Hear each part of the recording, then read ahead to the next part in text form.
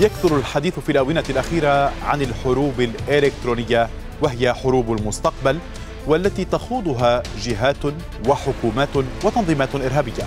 حرب بجبهات كثيرة من ضمنها محاولات تسلل وتجسس وخرق أنظمة دولية وحكومية وحملات انتخابية وسواها. فماذا تعني الهجمات الإلكترونية؟ وما المخاطر المحتملة من هذه الحرب المستقبلية؟ في الهجمات الأخيرة وجهت الاتهامات لقراصنة هم على صلة مباشرة بطهران وقد استهدفوا الحملة الرئاسية الأمريكية. القراصنة حاولوا اختراق 241 حسابا أمريكيا ونجحوا في أربع محاولات مكتملة. كما استهدفوا حسابات مسؤولين أمريكيين سابقين وحاليين. هجمات القراصنة تسعى لعرقلة الانتخابات الرئاسية الأمريكية أيضا في العام 2020 وهذا ما تخشاه أنظمة الحماية. القراصنة الإيرانيون استخدموا خاصتي إعادة تعيين كلمة السر واستعادة الحساب. كما نفذوا أكثر من 2700 محاولة لتحديد عناوين ورسائل إلكترونية وهي النقطة الأخطر في الكشف عن المعلومات الخاصة بأي من المرشحين. ينضم إلينا من بيروت رئيس تحرير موقع الأمن والدفاع العربي ناجي ملاعب أهلا بك أستاذ ناجي عبر سكاي نيوز عربية. هل هذه الحروب الإلكترونية بدأت واليوم بدأ ربما تسليط الضوء عليها وقد تكون الأخطر؟ الكل يتذكر ما حصل مع المرشحة الرئاسية الأمريكية هيلاري كلينتون المخاوف اليوم في هذه الانتخابات الفصلية أيضا والمعلومات وأجهزة الحماية للشركات الدولية. هل فعلا تأخرت أمام كل الجهود أو ما يرتكبه القراصنة؟ ما تتفضل به في التقرير هو عمليا عمل قراصنة أو عمل منظم من قبل دول. كانت الصين قد يعني خطت خطوات كبيرة في هذا الموضوع.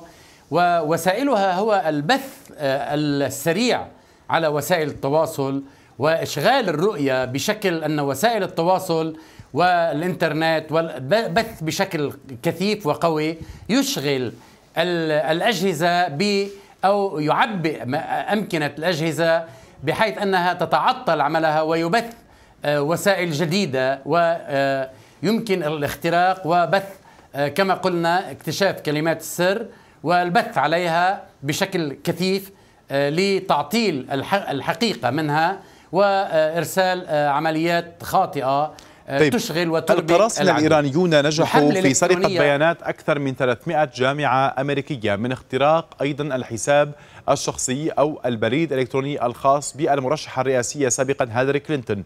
هنالك أيضا من يتحدث عن شبكات قرصنة تحدثت عن دور ربما أو علامات استفهام تطرح حول قراصنة هم على صلة بالحكومة الصينية. أيضا دور القراصنة الروس يضاف إليهم ما تم كشفه من سرقة بيانات عبر قراصنة إيرانيين. كيف يمكن اليوم مواجهة هذه الشبكة الضخمة من القرصنة؟ لمعلومات إن كانت سياسية أو حتى الملكية الفكرية.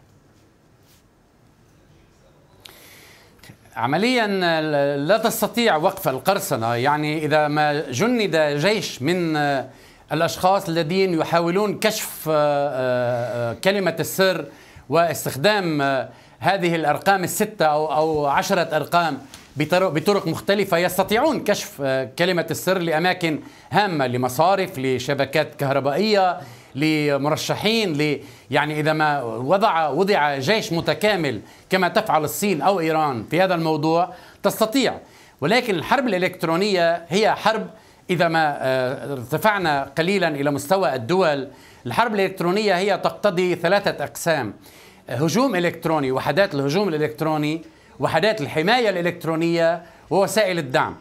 وحدات الهجوم يعني أن أن تستطيع الجهة المهاجمة إرسال موجات مركزة على على رادارات وأجهزة الراديو تبع العدو بشكل أن تربك هذه الأجواء وتسيطر عليها وبالتالي تستطيع حذف حذف كل الطائرات المسيرات الهليكوبتر حتى الصواريخ الموجهة تستطيع إرسال موجات وحذفها عن خطها الصحيح.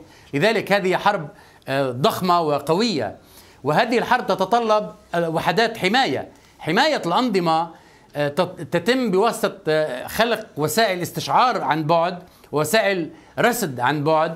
استطاع الأمريكيون رصدها بشكل قوي واستطاع الروس حاليا طيب قبل أن ينتهي وقتنا أستاذ ناجي اليوم شركة مايكروسوفت كانت تحدثت في السنوات الماضية عن تتبع مجموعات ضخمة.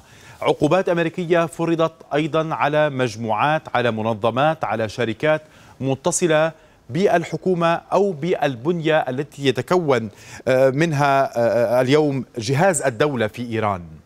كل هذه الوسائل تأتي متأخرة.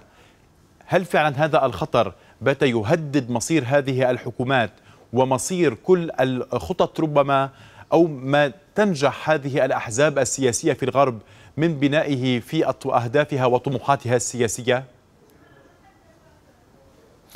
نعم تهدد ولكن هناك وسائل هجوم مضاد يمتلكها تمتلكها الحكومات الأوروبية والحكومات الأمريكية أن تستطيع أن منذ منذ عامين الحكومة البريطانية رصدت 5 مليار جنيه لمدة خمس سنوات للحماية الإلكترونية فقط فقط للحماية الإلكترونية لحماية الأمن الإلكتروني. كذلك الولايات المتحدة ترصد هذا يعني مال الاموال الضخمه الحجم لحماية منشآتها. نعم اموال ضخمة لحماية منشآتها. ولكن الاختراق طالما أنه يقوم على مادة على طريقة 0101 يعني لم لم يتم تطوير العمل الإلكتروني إلا ما زالت ضمن نفس ما ما نشئ على أساسه أنشئت الوسائل الإلكترونية. ما ما زالت تستطيع اختراق وإرسال موجات واختراق الأنظمة رغم الحماية. نحن يعني اليوم أمام حاجة اليوم لتغيير كل هذا النظام نعم. أو ما يعرف بالكودينج نعم. في هذه الأنظمة؟ نعم. نعم. بحاجة وهناك دراسات لشركات كبرى الروس استطاعوا التقدم في هذا الموضوع. الصين استطاعت ولكن ما زالت السيطرة الجوية على الموجات وعلى الرادارات وعلى كافة وسائل الاستشعار ما زالت أمريكية. رئيس تحرير موقع الأمن والدفاع العربي ناجي ملاعب كنت معنا مباشرة من استديوهات سكاي نيوز عربية في العاصمة اللبنانية بيروت. شكرا جزيلا لك.